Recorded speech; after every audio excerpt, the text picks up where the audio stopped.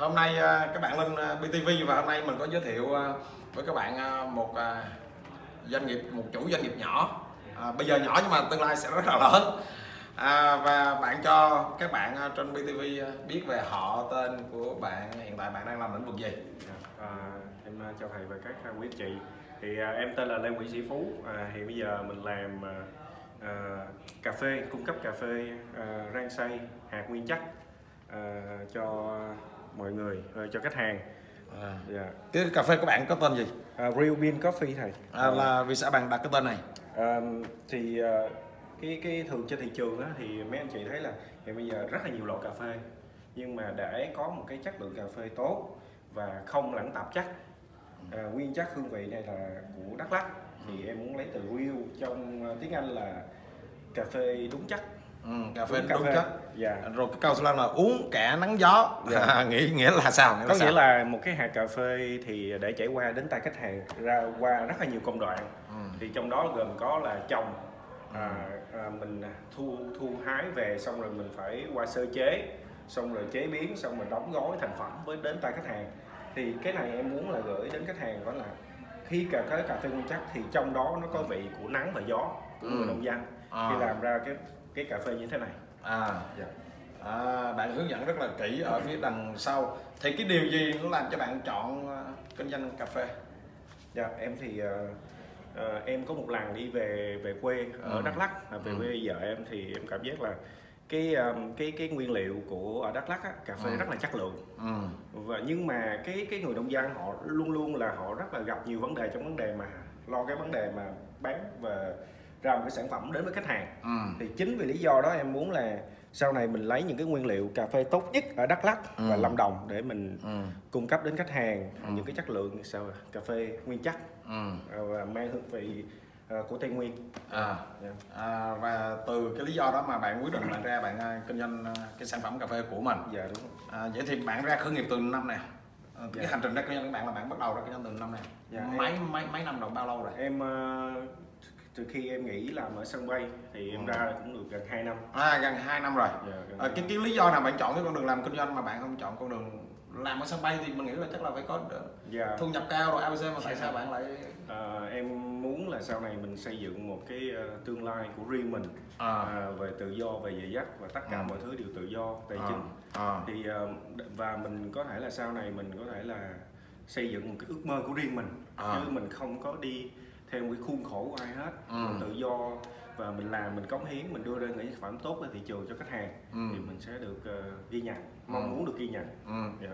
hai năm ờ, ra khởi nghiệp thì ờ, nếm những cái đau thương gì những cái ờ, Dạ em thân nó như thế nào? lúc ờ, ra khởi nghiệp thì rất là nhiều khó khăn là nỗi sợ hãi nỗi sợ hãi dạ nỗi sợ hãi là mình thất bại mình mình gặp- sợ mình thất bại mình sợ mình thất Ừ. bại rồi mình sợ bị người khác từ chối Ừ. mình sợ mình làm không có kết quả ừ. Ờ, những cái nỗi sợ đó nó nó nó nó nó nó, nó trong con người em nó, Ừ. nó luôn đấu tranh với nhau À. nhưng mà luôn luôn trong người em có người thứ hai nữa là mạnh mẽ Ừ. quyết đoán À. Ờ, khi mình chọn là mình phải làm Ừ. Thì, thì cuối cùng là cái con người thứ hai nó thắng hay con người con thứ người thứ hai nó thắng này thì À. bây giờ à, em ra em làm thì em có đầu tư về à, và làm về bất động sản Ừ. thì hầu như những cái giao dịch của em lúc đầu rất là khó khăn nhưng Ừ. đến bây giờ thì nó vẫn rất là ok Ừ. tạo ra những cái lợi nhuận tốt à, Ừ. cái thứ hai những cái ngành này là em làm ra cái coffee này là ừ. muốn sau này mở một cái à, hệ thống về cửa hàng Ừ. à, bán à, cung cấp cà phê Ừ. đó cho đến à, ở Việt Nam luôn Ừ. dạ bà xã có ủng hộ không dạ rất ủng hộ. À bà xã rất ủng hộ. Bà bà xã đã kinh doanh chưa? Mà bà xã ủng hộ. Dạ thì chuẩn bị nghỉ để theo về công À. ty của em làm luôn. À. Để mở công ty đi. À. Vậy, vậy, vậy, vậy thì qua cái cơ duyên nào mà bạn biết đến Britney mà bạn lại đi học à, để ra làm kinh doanh? Dạ em thì ờ, rất là được ờ, may mắn và Ừ. có duyên gặp được thầy ờ, về bất động sản Ừ. là thầy Phạm Quốc Lâm ừ. thì Phạm Quốc Lâm thì ờ, về kiến thức bất động sản rất là tuyệt vời Ừ. và có chia sẻ với em thì em cũng có đam mê kinh doanh nữa Ừ. nhưng mà thầy Phạm Quốc Lâm với lời hướng dẫn là Ừ. em nên gặp ờ, thầy Nguyễn Thế Duy Ừ. là một trong những người thầy của thầy Ừ. đó, nên là và thầy sẽ hướng dẫn rất là nhiều người thành công rồi và Ừ. những cái cách giảng dạy hay gì rất là thực tế và Ừ. mang lại hiệu quả cao nên là thầy Phạm Quốc Lâm muốn là em tới có thể là học những kiến thức Ừ. kinh doanh từ thầy. Đúng rồi qua cái cơ duyên của thầy Phạm Quốc Lâm đúng không? Dạ. vậy thì à, khi mà em trải nghiệm rồi em có thấy rằng là ra kinh doanh mình có cần phải đi học mình có kiến thức bài bản không? Em nghĩ thì chắc chắn phải có một trăm phần trăm phải có. Tại vì người ta có câu là khi mà à, trên thao trường đổ nhiều càng nhiều mồ hôi thì trên chiến trường bớt đổ máu à. cái đâu đó là luôn luôn đúng vì mình ừ. có đầy đủ mình nâng cái tư duy mình lên mình nâng ừ. những cái vấn đề mà giải quyết vấn đề của mình ừ. thì khi ra mình gặp vấn đề thực tế ở ngoài ừ. nó mình thiên biến dạng quá mình sẽ giải quyết được ừ. còn nếu không thì mình sẽ dấp rất là nhiều cái cái cái ừ. cái sai lầm mọi người mà họ xem này họ muốn làm đại lý cho bạn họ muốn mua họ uống thì họ phải liên hệ với bạn như thế nào dạ uh, À, quý anh chị có thể là liên hệ qua website thưởng thức cà phê.com phía sau à, thưởng thức cà phê.com dạ, quá ha. tên website rất là hay dạ.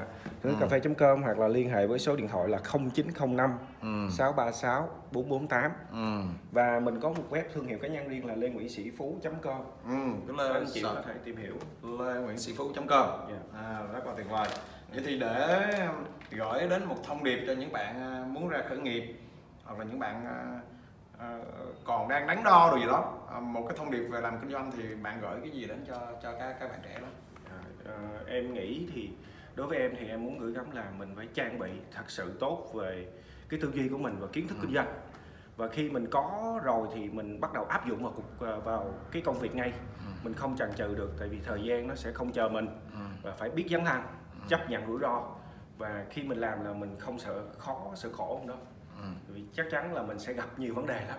Ừ. cảm ơn bạn phú rất là nhiều. Các bạn mà muốn uh, uh, tiếp cận với bạn phú thêm nói chuyện với bạn phú thì cứ lên google sợ sợ cái tên của bạn ra. Hoặc là cái trang web các bạn thấy chưa? Thưởng thức cà phê com. À, các bạn sẽ uh, trao đổi với bạn phú nhiều hơn về cà phê.